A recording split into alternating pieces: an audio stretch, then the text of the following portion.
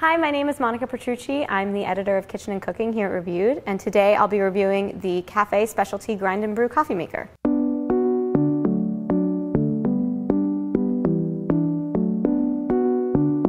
This stylish coffee maker is able to brew both single cups and full carafes of coffee in varying size and strength levels. There are four different strength levels to choose from, and the grinder includes a dial to adjust size for further customization. And there are nine different size options for single cups from 6 ounces to 24 ounces. You can also customize carafe sizes ranging from 4 to 10 cups at a time. And the carafe is thermal vacuum sealed with a stainless steel interior, so it's designed to keep your coffee hot over time. The water tank is easily removable and it's able to house up to 75 ounces of water at once. Here's what we like about about the Cafe Specialty Grind and Brew Coffee Maker.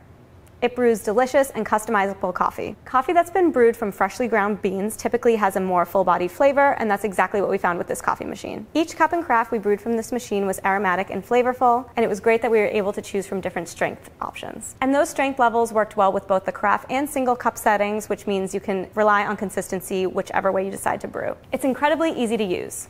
The wide digital control panel housed on the bottom of this machine is incredibly intuitive and requires no learning curve before you start brewing coffee. The display also features a countdown timer to let you know how long until your coffee's ready, and it will display a second timer after the coffee's been brewed to remind you to empty the container. Plus, just like many other cafe appliances, this machine is compatible with the Smart HQ app, which means you can remotely monitor your machine and schedule brew times and even customize coffee bloom times from your phone. The water tank on this machine is spacious. Small water tanks on coffee machines can be a pain to upkeep, especially if they're difficult to remove and refill. Luckily, this water tank can hold up to 75 ounces of water, which is pretty spacious, and it includes helpful markings on the outside to let you know if you have enough water to brew whatever size cup or carafe you are making. Here's what we don't like about the Cafe Specialty Grind and Brew coffee maker. It's very prone to splashing. As you can see, we tested this machine in the matte white color, which showed these splashing marks even more prominently. Whenever we brewed single serve cups in this machine, we noticed splash marks show up throughout the base of the machine, and it required frequent upkeep to make it looking pristine. Of course, it isn't a huge deal to wipe down the machine between brews, especially because you'll also have to worry about emptying the waste container,